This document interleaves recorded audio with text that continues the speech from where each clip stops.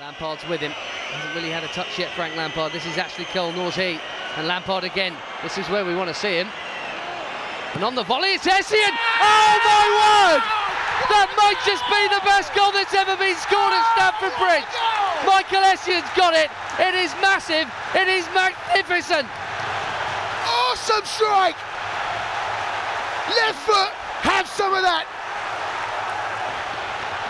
Have you ever seen a better goal than that in a Champions League or any match? I tell you, Zidane in the final. I can't believe what I have just witnessed. That is quite possibly the best goal Stamford Bridge has ever seen.